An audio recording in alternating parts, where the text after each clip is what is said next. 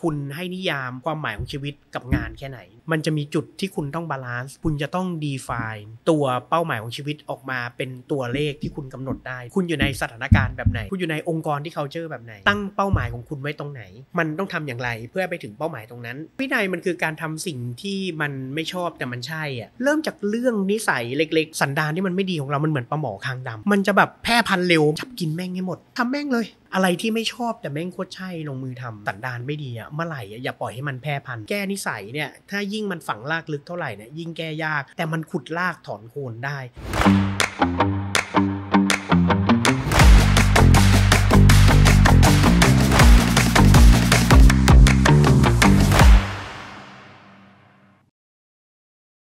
คือนิยามของ work life balance แต่ละรุ่นไม่เหมือนกัน ดังนั้นคือคุณเป็นคนกำหนดเอง เพียงแต่ว่าคือสิ่งหนึ่งอะที่คุณต้องจำไว้เสมอ คุณให้นิยาม ความหมายของชีวิตกับงานแค่ไหนนั่นคือเรื่องที่หนึ่งคืออย่างของผมผมพูดแบบไม่อายเลยคือผมชอบทำงานมันสนุกเออแต่ผมเลือกงานนะนึกออกใช่ป่ะคือมันแบบบางงานคือผมรู้สึกว่าแม่งน่าเบื่อไม่อยากทำอย่างเงี้ยมันก็จะมีบ้างแต่งานนั้นต่อให้มันน่าเบื่อแค่ไหน ถ้ามันเป็นต้นทุนของการที่ทำให้ผมได้ทำงานที่มันสนุกผมก็จะทำอย่างเงี้ยครับนะเพราะผมสำหรับผม work คือสิ่งที่ fulfill life แต่นั่นก็เป็นนิยามของ work life balance ของผมว่าผมมีความสุขอย่างเช่น ผมลุกขึ้นมาอ่านหนังสืออย่างเงี้ยดวนเครื่องหยิบอ่านหนังสือมาอย่างเงี้ยคือแบบลงขึ้นมาอ่านหนังสือก็อ่านหนังสือตลอดเพราะอะไรเพราะผมรู้สึกผมมีความสุขกับมัน เพราะว่าอ่านหนังสือปุ๊บผมก็พัฒนาผมก็นำมาใช้ในงานอย่างเงี้ยครับมันมีความสุข แต่ผมคิดว่าคุณต้องเลือก คุณไม่สามารถ maximize objective ทุกอย่างพร้อมกันหมดได้ อย่างเช่น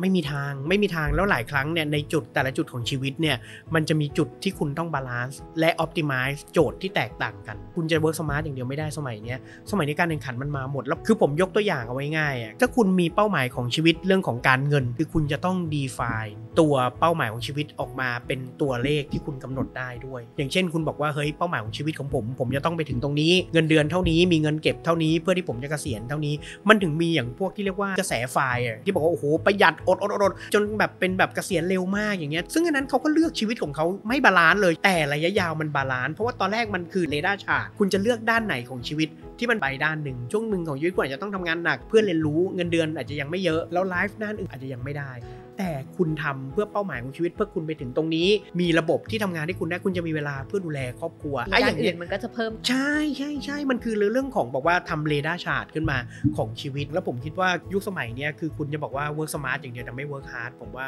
ความเป็นจริงมันคือค่อนข้างยากต่อให้คุณ work smart แล้วคุณก็ยังต้อง work hard อะเพราะว่าคู่แข่งของคุณมันมาเยอะมากต่อให้คุณเป็นคนที่เก่งที่สุดหรือยังไงเนี่ยยุคสมัยเนี้ยคือเอาง่ายๆ e-commerce เหมือนกันอย่างตอนเนี้ย Temu เข้ามาอย่างเงี้ยโอ้โหแบบตกใจมากโลกมันไม่หยุดไงดังนั้นคือคุณเนี่ยจะหยุดมันก็จะลำบาก แต่ผมอยากบอกว่ามันก็มีตลาดอีกด้านหนึ่งเช่นเดียวกัน ที่มันเป็นตลาดที่แบบเฮ้ยมันคือโลกที่มันไปเร็วอะมนุษย์กับต้องการอะไรที่มัน stable ที่มัน slow มากขึ้นโลกของ spiritual เออผมนึกบอกว่าคือคุณต้องดูก่อนเว้ยคุณอยู่ในสถานการณ์แบบไหน คุณอยู่ในองค์กรที่เขาเจอแบบไหน คุณตั้งเป้าหมายของคุณไว้ตรงไหนอืมและ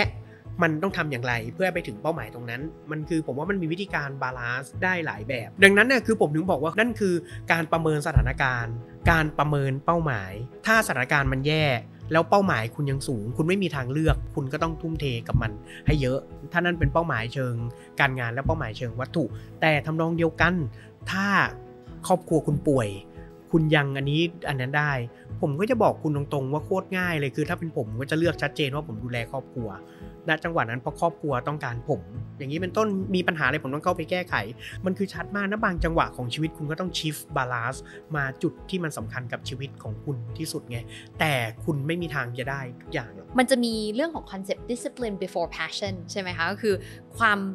มีวินัยมากกว่าแบบฉันชอบฉันไม่ชอบฉันอารมณ์ไหนอะไรยังไงวันนี้อะไรเงี้ยค่ะพี่ว่าวินัยมันคือการทำสิ่งที่มันไม่ชอบแต่มันใช่อะมันต้องทำก็ทำอย่างเงี้ยพี่ยกตัวอย่างอีกอันหนึ่งคือโลกมันเปลี่ยนไปเร็วมากอย่างเงี้ยครับนะแล้วพี่ก็ต้องเรียนรู้ถูกไหมพี่ก็อ่านหนังสือเป็นเรื่องปกติอยู่แล้วแต่เนี้ยพี่ก็ไปเทคคอร์สอีกอันหนึ่งเริ่มเรียนเนี่ยตีสามถึงแปดโมงเช้า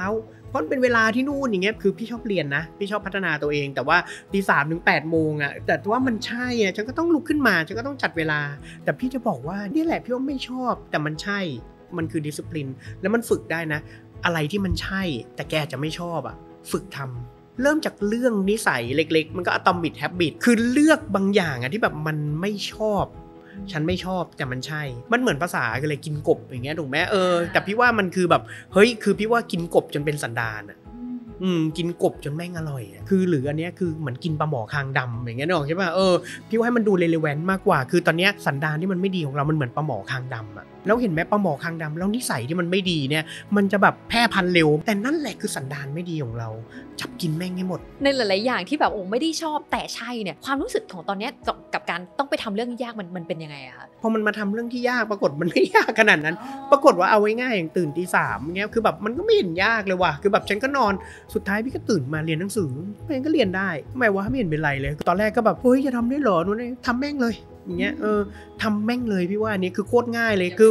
อะไรที่ไม่ชอบแต่แม่งโคตรใช่ลงมือทำแต่จำไว้เสมอเว้ยคือสันดานไม่ดีอะเมื่อไหร่อะอย่าปล่อยให้มันแพร่พันธุ์แต่ว่าคือพวกเนี้ย ไปแก้ที่หลังอะปล่อยมันแพร่พันธุ์นะยาก หยุดมันง่ายกว่า พี่ว่าดังนั้นนะยูลิสออกมาอย่างเกลานี่ก็เหมือนกันยูลิสออกมาอะไรนิสัยอะไรที่แบบยูไม่ชอบอย่างเงี้ยนะครับนะแล้วแก้แก้มันอย่างเช่น สมัยก่อนพี่ก็ไม่ได้บอกว่าพี่เป็นคนชอบอ่านหนังสือนะเพราะพี่เป็นเด็กหัวทึบนี่พี่ไม่ได้ฉลาด มันบางทีวิธีแก้นิสัยเนี่ยถ้ายิ่งมันฝังลากลึกเท่าไหร่เนี่ยยิ่งแก้ยาก แต่มันขุดลากถอนโคนได้